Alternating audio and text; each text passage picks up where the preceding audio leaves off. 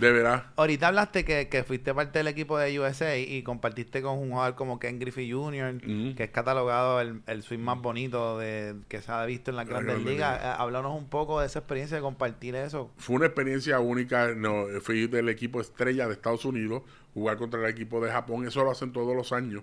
Ya mismo sale en el, el equipo de, de- de Estados Unidos. Hace una selección, no, no es solamente americano. Sí, de Llevan latinos con americanos de todo Major League, que cogen los mejores peloteros. Y tuve la oportunidad. Ozzy Smith era mi campo corto. Qué duro. Yo era segunda, el campo corto de él. Cecil Fielder, que ese año dio Wow. 50 jorrones. Estaba Barry Bonds. Ya, uno sí. de los outfield, Larry Walker, que entró este- este año al Salón de la Ajá. Fama con Derek Jeter, y Ken Griffin Jr. Imagínate esos tres outfield. No. Ay, Y cuando, cuando tú te miras así, yo digo, Dios mío, yo estoy aquí. Ese fue mi primer, uno de los momentos que te voy a hablar que yo, yo supe que yo estaba en la Grande Liga, fue mi primer juego de estrella. Yo me acuerdo como ahora que me dicen, Valga, acabas de hacer el juego estrella. Yo, ¿estás seguro? Pues yo tenía, yo estaba poniendo buenos números, pero no pensaba que yo tenía ese talento. Y me acuerdo, estábamos en Texas y el del único del equipo que hizo juego estrella fui yo y Sandy Alomar.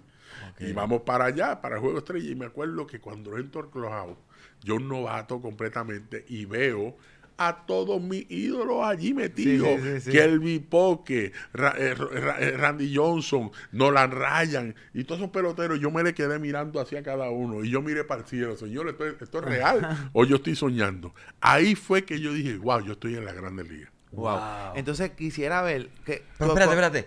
¿Quién fue un huele bicho? no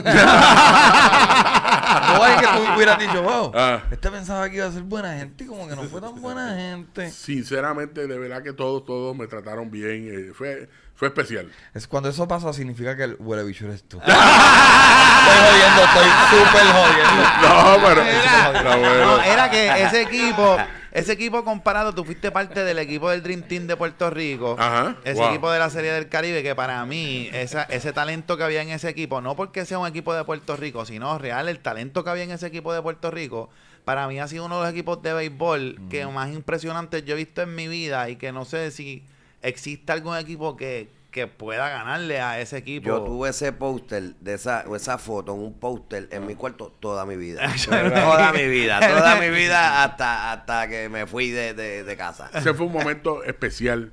Eh, me acuerdo que vi, llega la, la huelga en julio 19.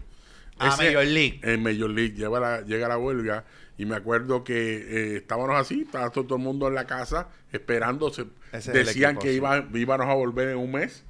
El mes fue que se acababa la temporada, pasan los días y no volvimos más al terreno de juego. Y de verdad que eh, eh, hablamos todo el mundo y dijimos, vamos a jugar Winter Ball porque sabes que la Serie del Caribe va a ser en casa. Vamos a tener la Serie del Caribe va a ser en casa y vamos a jugar por Puerto Rico. Decidimos eso, todo el mundo jugó, fue un espectáculo, espe- eh, una cosa increíble. Ese parque estaba lleno de lado a Yo lado. fui, yo fui. Andy Yo fui a Montañez juegos. cantó la- el, ¿Tú himno, el nacional. No, yo. Después, ¿sabes? cuando ganamos, que Gilberto Santa Rosa entra por el centro, fui cantando la borinqueña. Bueno, eso fue para pelo, lloramos. Pero estar ese equipo junto, todo el mundo, todavía es la hora que hasta en, en los, en los eh, canales deportivos Se habla. dicen que un equipo como ese eh, le No. ganaba a cualquier equipo grande. del Este mundo. era el póster que tú tenías, Idel. Este era el Este, póster. no, este. Déjalo, déjalo este que sale todo el Ah, equipo, todo el no que equipo, sale todo el todo el equipo. equipo, equipo, sí. Que dice Dream Team y todo, Sí. o sea, que, que era algo conmemorativo que se había hecho. No, eso era algo, eso fue algo súper especial cuando, bueno, cuando tú tienes a- Este, este, este, este, este. Mira a ver. ese, ese era el mismo, equipo. Ese mismo. Esa Ese- foto yo creo que es de tu padre, lo más seguro. Sí, Eh. sí. Lo más seguro. Bueno, en ese equipo estaba Igor González, Rubén Sierra. Bueno, primer Alomar. bate Roberto Alomar, segundo bate Edgar Martínez, yo, yo batí tercero, cuarto Carlos Delgado, quinto Juan González, sexto Rubén Sierra, séptimo Carmelo Martínez, octavo, Dios mío, quiero Bernie Williams, y noveno Rey Sánchez, Rey que fue Sánchez. el campeón bate en esa en temporada. esa temporada. Tú eras el tercer bate. Tercer bate.